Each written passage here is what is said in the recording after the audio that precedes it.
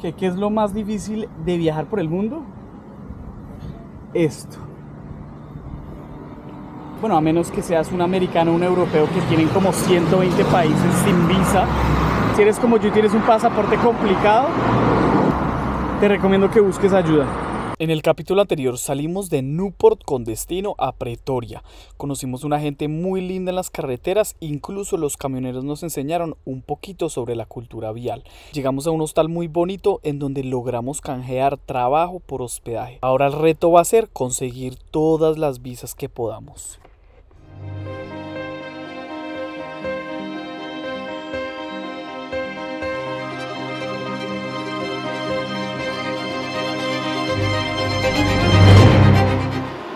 Bueno, empezamos este día con el agradecimiento a Dios, a mi señora madre, a mi familia, a todo el mundo y al parcero William Alberto Muriel Ortiz, a Cristian Meléndez Parra, a José Andrés García Flores, a Hamilton Rivera, Camilo Borges, Tatiana Velázquez Calderón, muchas gracias porque gracias a ustedes yo estoy aquí. Recuerden que si quieren hacer parte de las personas que yo agradezco en los videos y ayudar con este proyecto, pueden ir a estasmivuelta.com, comprar una camiseta, lucirla con orgullo y ver estos videos. Vamos a desayunar.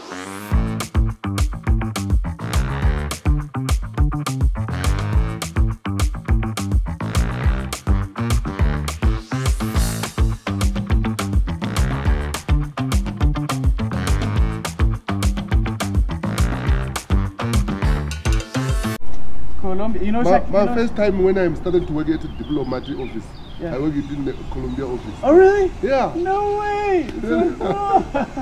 I'm gonna go there tomorrow. to tomorrow there. Yeah, they're gonna be like, what?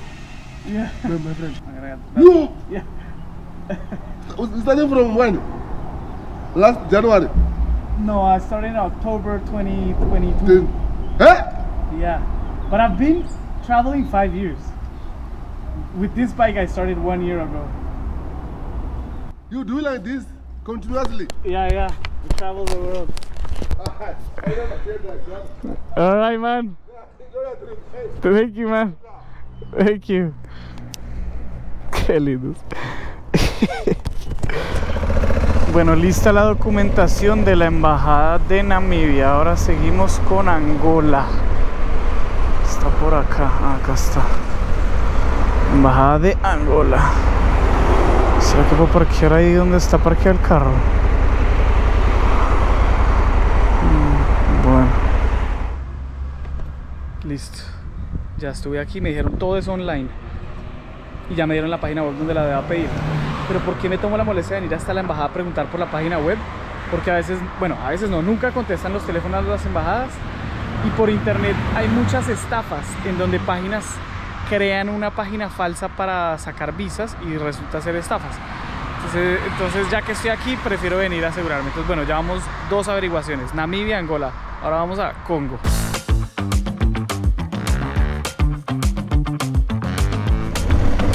Ahí está la bandera. Y es que hay dos Congos, la República Democrática del Congo y la República del Congo. Esta es la República del Congo. Es donde voy a pedir la visa de allá. Y allá hablan francés. Y la persona ici qui parle francés aussi. Ah, Bueno. El que diga que los youtubers de viajes no trabajamos, tienen huevo. Listo. Va a salir caro. Cada visa estamos hablando de más o menos entre 80 y 100 dólares. Pero bueno, ya vamos tres países, no hemos pedido ninguna, pero ya por lo menos sabemos cómo son los procesos para estos tres países. Ahora después del Congo, si vemos en el mapa, está Namibia, Angola, República Democrática del Congo, que yo puedo pedir la visa on arrival, o sea, cuando llegue a la frontera no es grave. Pero creo que ahí del Congo se puede coger un barco, perdón, de Angola se puede coger un barco al Congo. Y ahí nos saltamos ese, ese pedazo del- de, la República Democrática del Congo. Y entramos a la República del Congo. Y de ahí ya cogemos hacia Camerún. Entonces la próxima es Camerún.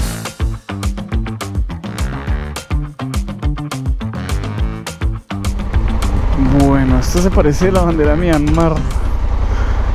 Pero esto es la High Commission de Camerún. Aparqueamos la motico por aquí. Listo. Gracias, Siri. Bueno, esta visa de Camerún se puede hacer por internet. Entonces, si la quieren hacer desde su país, se puede hacer.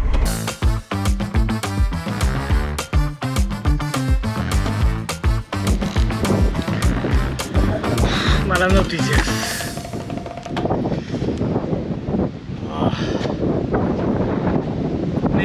Puedo aplicar Visa on Arrival en la página de internet, pero como colombianos es probable que esa visa me, solamente me la puedan dar si la pido a un país, a una embajada que quede cerca a un país donde yo viva. Y la más cercana está, creo que en Venezuela. Bueno, en algún lugar de Sudamérica. A ver, yo vengo preparando todas estas visas y todo esto desde hace rato y vengo estudiando y todo eso, pero todo cambia cada seis meses. Entonces, si hace seis meses yo hubiera pedido unas visas, ya hoy no me sirve. Entonces, por eso pedí la de Sudáfrica y desde aquí darlo. Pero es que, güey, pucha, qué mamera. ¿Cuánto, ¿Cuánto daría uno por tener un pasaporte europeo? Los europeos no saben. Yo no creo que valoren lo que. No sé si lo valoran, pero un europeo pide todo por internet relajado y viaja tranquilo, trabaja tres meses y vive en África o en Sudamérica.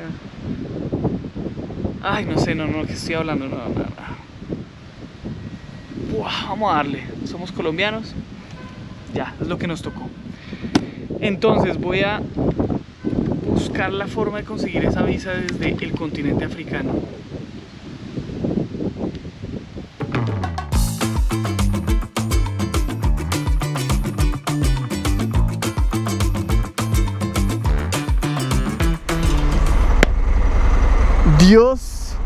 Le da batalla a sus mejores guerreros. Pero qué batalla la que me está dando, joder, pucha. Bueno, no hay repuestos para la moto, pero ya los, ya los pedí y me van a llegar como en una semana. Entonces, bueno, tengo tiempo para ir haciendo lo de las visas y todo, pero estoy muy preocupado por la visa de Nigeria, en serio. Joder, pucha, ¿qué voy a hacer? Y se me está acabando la plata. O sea, yo, a ver, yo organicé para estar acá, pero para sobrevivir no me quiero endeudar, no quiero estar endeudado. Entonces voy a, en silencio y sin que nadie sepa, voy a conseguir trabajo aquí y empezar a producir dinero. Porque seamos sinceros, parceros, YouTube, Instagram y todo eso no es suficiente para los gastos que uno tiene en un viaje de estos. Pero créanme que me ayuda mucho cuando ustedes me compran cosas. Eso me ayuda montones. Incluso los patrocinadores de las visas, por lo menos de 4 o 5 visas que voy a tener ahorita en África, son mis amigos de Dos Ruedas Colonia, allá en Uruguay. Cuando estuve en Uruguay ellos me dieron un, una, ellos hicieron una recolecta y me dieron una plata.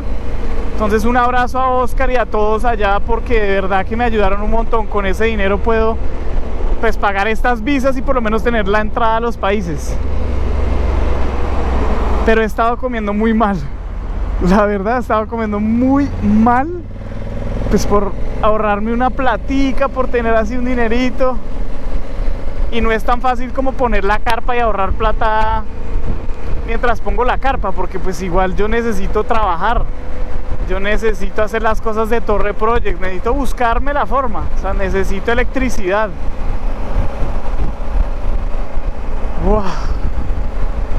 No nos vamos a quejar, vamos a agradecerle a Dios y a la vida por estar acá cumpliendo el sueño. Nadie dijo que iba a ser fácil, esto toca lucharlo.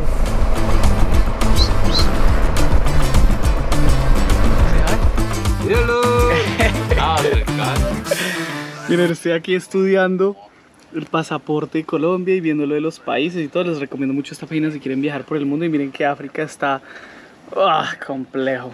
Como, ¿Cómo está África? Pero bueno, así es, así es la vida.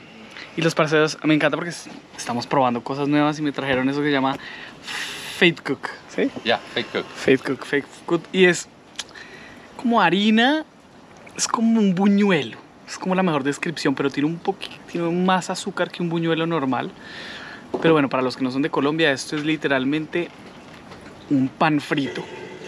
Es eso, es un pan frito. Entonces ellos, no, pónganle algo dulce. Entonces me trajeron Nutella. Estamos aquí probando, quitándonos el estrés de esto porque, pucha, estoy haciendo de todo para, para sa- salir, miren. Necesito ir a la embajada y pedir visa de Namibia, ir a la embajada y pedir visa de Angola, ir a la embajada y pedir visa de Congo, Camerún y visa, Nigeria y visa, Benín y visa.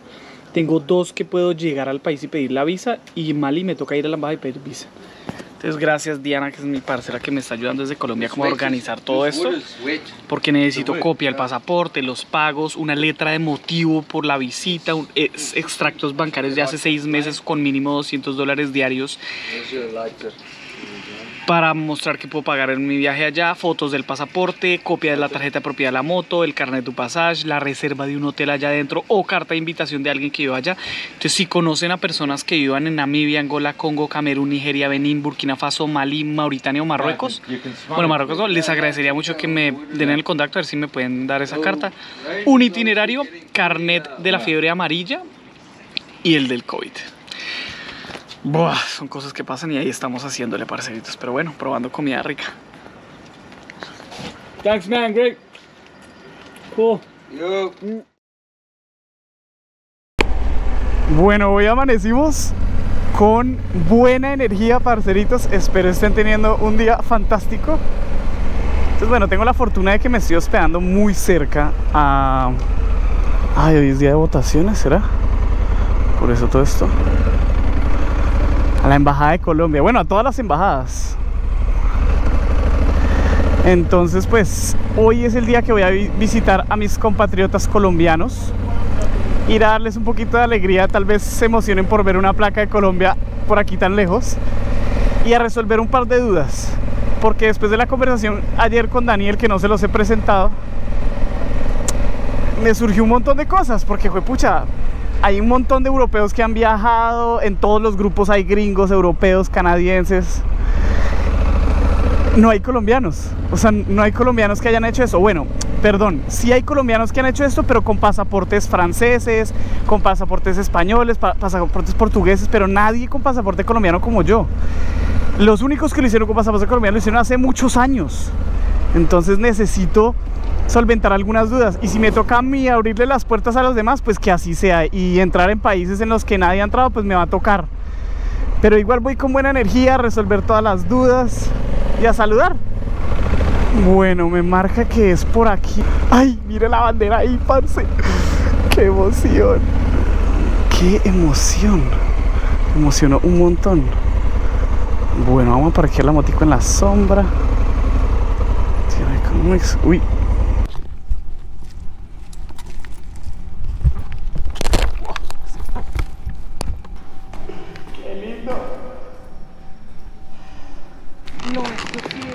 Miren, aquí están los parceritos de la Embajada de Colombia en Sudáfrica. ¿Quieren saludar a Colombia? ¡Eh, tan bellos! Sí, aquí mostrándoles a mozzarella. Y vine a averiguar muchas cosas, pero son muy queridos. Sí, qué lindo estar acá. Entonces, si yo filmo con esta, a veces la pongo acá atrás, entonces hago unas tomas súper chévere. Y esta en el casco, que pues es la que tiene como el micrófono.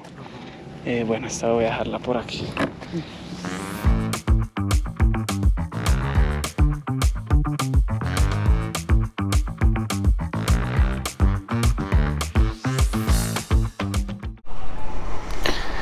Ay, parceritos, me voy con el corazón lleno.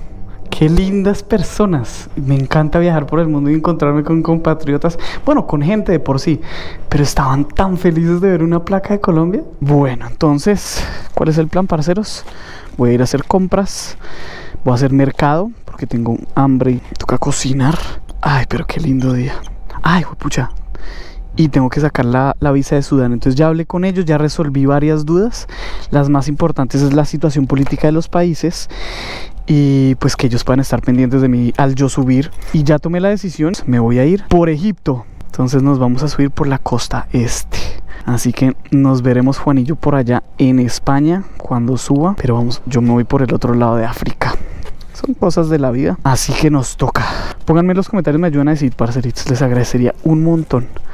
Y gracias por acompañarme. Ustedes también han sido parte fundamental de este sueño.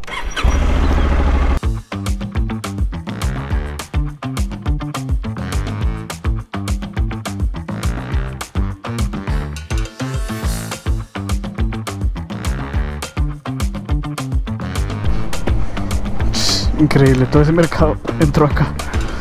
Pero bueno, ya tenemos la comida para esta semana, parceritos. Vamos a comer rico. Y ahí me traje un par de manzanas me acordé de Juanillo. Cuánto maluco, parce. Ay, qué chistoso.